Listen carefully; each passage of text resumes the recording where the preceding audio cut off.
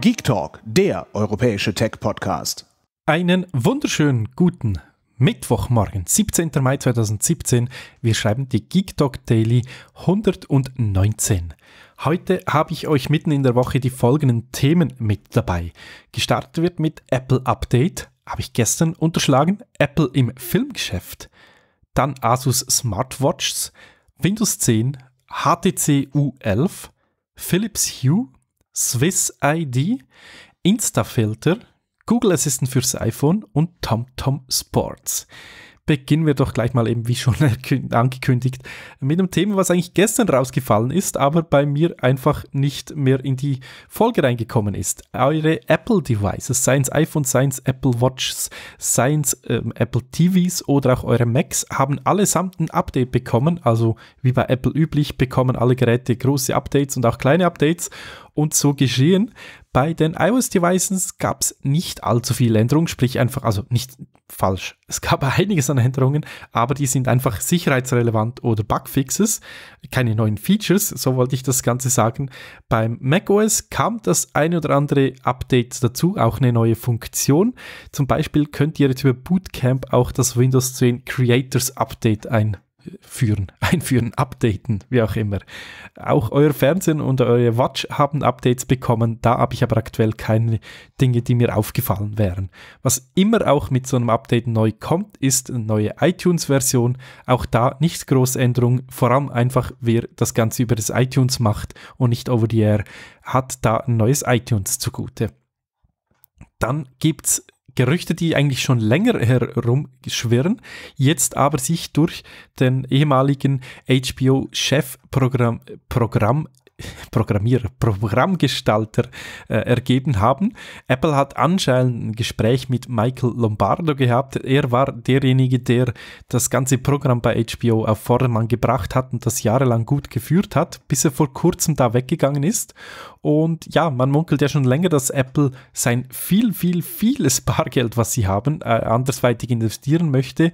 Und warum nicht Filmgeschäft? Denn solche Geräte wie iPhones, Apple TVs etc., die sind ja eigentlich prädestiniert für Medienwiedergabe. Warum dann nicht gleich auch selber Content generieren und somit noch mehr Geld abschöpfen an dem Ganzen? Spannend, spannend. Mal schauen, wo es hingeht. Wo es nicht hingeht, ist bei Asus und Smartwatches. Die Zen-Serie, also Zen-Watches, sind schöne Geräte. Die haben wirklich, ähm, ja, edle und ähm, gut verbaute Geräte gebracht. Es verkauft sich nur sehr, sehr schwach, diese Android Wear-Geschichten. Hat unter anderem mit dem Betriebssystem, was da drauf läuft oder lief, damals noch in der 1.0-Version zu tun. Und in die Richtung soll es auf jeden Fall nicht weitergehen. Somit Apple, die haben ja Apple Watch verkauft deutlich mehr im letzten Quartal, wie man gehört hat. Samsung verkauft auch recht viel. Fitbit hat abgenommen, sich aber zusätzliche Käufe gemacht mit äh, äh ja, Firmen, die sie sich einverleibt haben. Mal schauen, wo es hingeht mit Android Wear wir haben ja eine Nexens, eine Google I.O. vor uns. Vielleicht gibt es ja das eine oder andere neue dazu. Dann gehen wir auf die Windows-Seite. Aus WannaCry wird Uivix. Uivix. Uivix? Ein witziger Name für so ein ähm, neue Art vom WannaCry oder ja, neue, ähm, wie sagt man, neue Variante von dem Ganzen.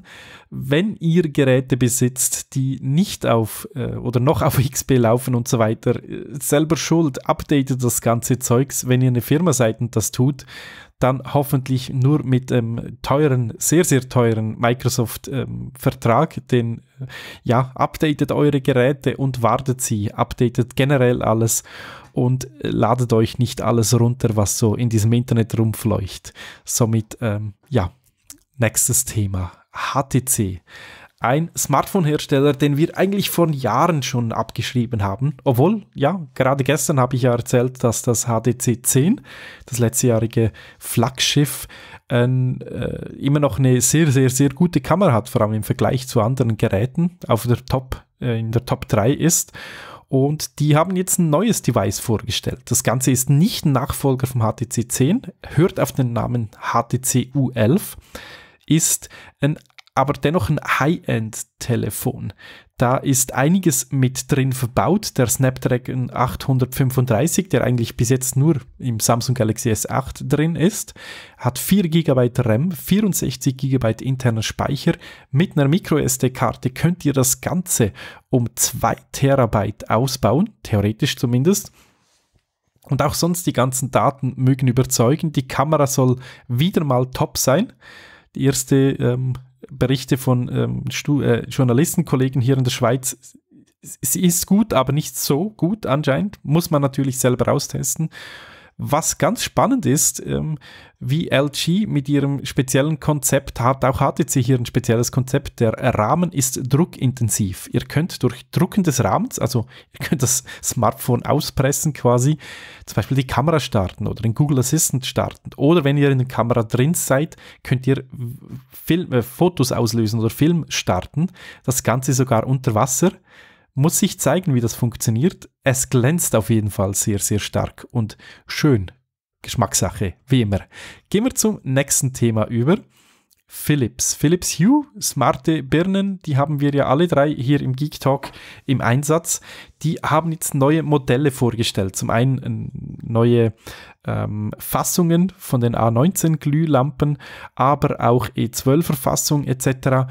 Und das Ganze auch mit neuen Lumen, also stärkeren und weniger stärkeren und eine da bin ich sehr gespannt darauf, die ein, ein Ambiance, White Ambience nennt sich das Ganze, White Ambience Candle Bulb soll eine Kerze nachempfinden. Also wenn man so irgendwie, ja, für draußen oder ähm, romantische Stimmung klingt interessant, muss man ausprobieren. Aktuell für den amerikanischen Markt vorgestellt und hoffen wir doch, dass das Ganze auch bald hier zu uns kommt. Ab Juni respektive Juli wird das Ganze dann versandt. Dann ein Schweizer Thema, Swiss ID im Französischen, also Swiss geschrieben, wird zu Swiss sein, Swiss ID im englischen Namen. Das Ganze hat gekostet, also der Übertrag der Markenrechte 241.944,45. Das sieht man es wieder mal. Wir Schweizer nehmen es halt äh, ja sehr genau, Tüpfelschießer, wie man hier so schön sagt. Und was ist das Ganze? Das ist eine ähm, ID, die man hat im Internet, um sich auszuweisen. Zum einen für die äh, SBB und die Post, also die Bundesbahn und den Postbetrieb, um sich äh, Unterschriften abzugeben, äh, um sich bei den ganzen Diensten einzuloggen, soll geöffnet werden, auch für andere Dienste so, wo man dann quasi deine Daten nicht mehr überall eingeben muss und später öffnet sich das Ganze noch weiter, sprich, wenn es dann mal in Richtung E-Voting geht, und das hoffe ich ja schon lange, dann kann man sich damit ausweisen. Also eine ID im Netz. Bin mal gespannt. Der Start wieder mal wie immer ein bisschen holperig, aber wir werden sehen, wo es hingeht. Instagram hat ein Update bekommen. Und was ist da mit dabei? Ein, ein neues oder besser gesagt ein altes Feature von Snapchat. Kennt ihr diese Bunny-Ohren, diese Hundenasen etc., die man sich drauf machen kann bei Bewegtbild, also Video? Das gibt es jetzt auch bei Instagram. Yippie, Schweinebacke. Der Google Assistant. Gestern hatte ich, dass das Ganze ähm, als Thema, dass das Ganze auf Autos Einzug erhält, zumindest bei zwei Marken, die ich gestern genannt habe.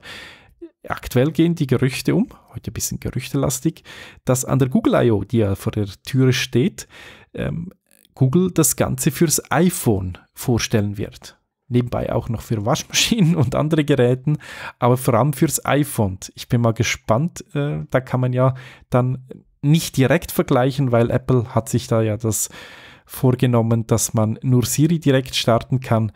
Aber ja, immerhin hat man Alternativen auf dem Device, wenn es denn dann so kommen wird. Aber da bin ich mir ja sicher, dass es kommen wird.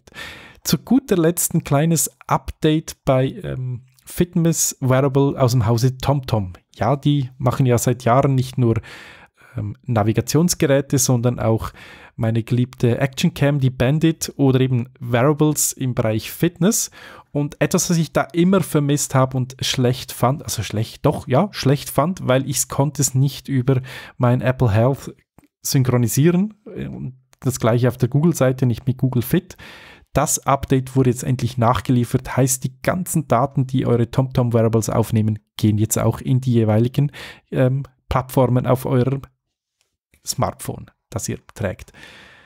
Das war's an Themen, die ich heute für euch hatte. Morgen ist Donnerstag, zwei Tage habe ich noch. Heute konzentrieren wir uns auf den Mittwoch. Euch einen schönen Tag, viel Erfolg und bis bald. Euer Pogipsi. Tschüss. Hört mehr Geek Talk.